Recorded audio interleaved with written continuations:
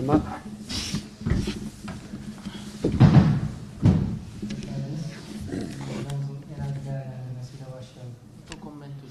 Ma eh, c'è un po' di amarezza perché um, siamo andati avanti di due gol. Tabii ki de ağzımızda acı bir tat var çünkü 2-0 öne geçmiştik. Analizzando la partita a caldo devo dire che la squadra ha fatto un primo tempo strepitoso. Ve sıcak sıcağına analiz ettiğimizde maçın yani tak- takımımızın gerçekten ilk yarıyı muazzam bir futbolla kapattığını söyleyebilirim. Lasciando poco agli avversari, creando tanto, eh, tanto potevamo fare il secondo gol. Ve rakibi de neredeyse hiçbir şey bırakmadık ve ikinci golü de atabilirdik. E il calcio è così, quando poi non chiudi le partite rischi anche di perderle a volte, quando giochi contro squadre organizzate come oggi. Ama futbol böyle bir oyun. Organize takımlara karşı maçları eğer kapatamazsanız e, yani kaybetme riskiniz de oluyor. Avevamo la possibilità di, di- di- di chiudere la partita dopo il 2-1 e il calcio è così, e ci prendiamo il pareggio, faccio i complimenti alla mia squadra anche se nel, nel- nel secondo tempo dopo il 2-0 su- probabilmente inconsciamente pensavamo che la partita fosse finita. Yani aslında takımımıza tebrik etmek istiyorum. Çünkü futbol aslında böyle bir oyun. Ee, 2-1'den sonra da hani gol atıp maçı kapatabilirdik ama 2-0'da şöyle bir şey yaşadık. Ee, sanki hani maçı şimdiden kapatmışız gibi bir Faccio, e, hissiyata kapılmış olabilir takımımız ama tebrik etmek istiyorum gösterdikleri performans için. faccio i complimenti all'avversario perché ci hanno creduto fino alla fine. Ve rakibi de te- tebrik etmek istiyorum çünkü sonuna kadar inandılar onlar da.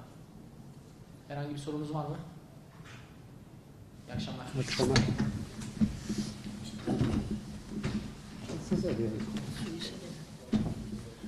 Facciamo- İyi akşamlar arkadaşlar. Hocamızın maçın görüşleriyle başlıyoruz. Ee, herkese iyi akşamlar. Ee, maçtan önce yayıncı kuruluşa da söylemiştim. Bugün dün 2-3 gündür oyuncularımla da konuşuyorum bunu. Maç gibi maç beklediğimi söylemiştim. Bugün gerçekten ee, futbol dolu bir iki saat yaşadık. Bence ee, bunu eleştirisel anlamasınlar lütfen. Ee, bir büyük takım maçıyla aynı ana bu maçı koymak bence futbol severleri çok zevkli bir ee, bir maçtan alıkoymuş oldu. Ee, bu maçın daha farklı bir saatte tek başına oynanması bence ee, çok daha anlamlı olabilirdi. Çok doyurucu bir futbol vardı sahada. Güçlü bir Adana Demirspor takımı. ee, geride iyi pas yapabilen, arkada birebirleri yakaladıktan sonra işte Onyekuru'yla, Akintalo'yla, Belanda'yla iyi geçişler yakalayabilen bir takım Adana Demirspor. Ee, arada bize zorluklar çıkarttılar ama genel olarak biz hep oyunun içindeydik. Ee, birbirimize iyi cevaplar verdiğimizi düşünüyorum. Özellikle e, biz maçın başında onlar santraforsuz oynadığı için biz bir tane stoperi eksik kullanmak istedik. Ali Karimi'yi düşündük orada.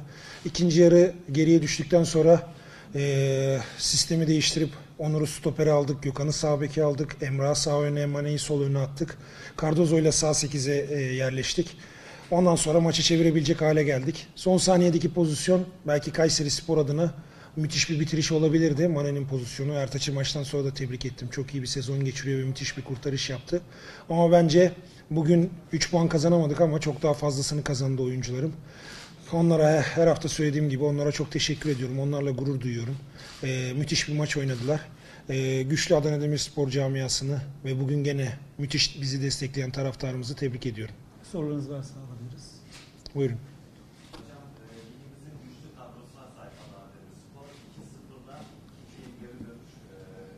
Hocam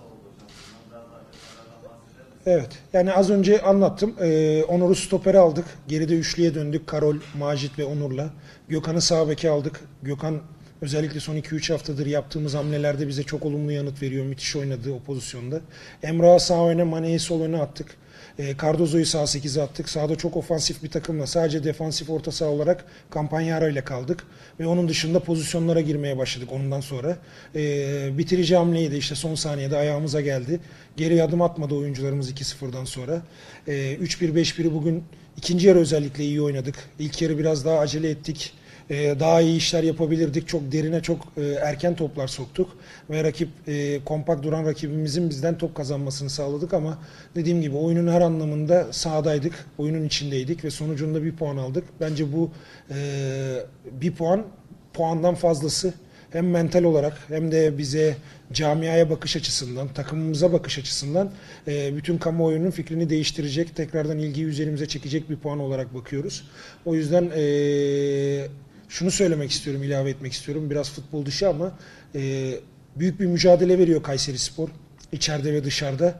Evet biz e, yönetim başkanımız Ali abi olsun işte e, sportif direktörümüz Murat abi ben ekibim ve oyuncular personel inanılmaz kenetlenmiş durumdayız. Sorunsuz devam ediyoruz ama e, sorunsuz devam etmemiz için şehrin dinamiklerinin harekete geçmesi gerekiyor.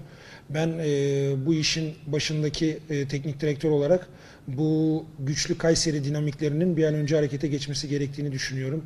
Çünkü e, bu huzurlu ortamın bozulmasını hiçbirimiz istemiyoruz.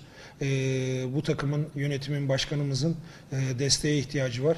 Ben biliyorum ki Kayseri Spor, Kayseri camiası bu desteği en kısa zamanda tekrardan takımına sağlayacaktır. Ya zaten e, ilk imzaya geldiğim günden beri biliyorsunuz ben bir e, girizgah yapmıştım. Hedeflerimiz bütçelerden büyük diye. Oyunun vaadinde bulunmuştuk. Oyunun gü- gücüne inandığımızı söylemiştik. Onun da arkasında duruyoruz. Takımımız güçlü oyun oynuyor, hızlı oyun oynuyor. Bazen pas oyunu oynuyor, bazen geçiş oyunu oynuyor. Her türlü oyunu sahaya koymaya çalışıyoruz ve seyircimiz zevk alıyor. Ben uzun zamandır Kayseri Stadyumunu bu kadar coşkulu, bu kadar istekli görmüyordum. Ee, biz onlarla sinerjimizi yakaladık. Taraftar ve takım ee, şu an elinden gelen her şeyi yapıyor. Harekete geçmesi gereken bence şehrin dinamikleri. Onlar da bence e, bugünden sonra bu takıma daha da fazla sahip çıkacaklardır. Başka soru var mı? Çok teşekkür ediyorum. İyi akşamlar. Thank you.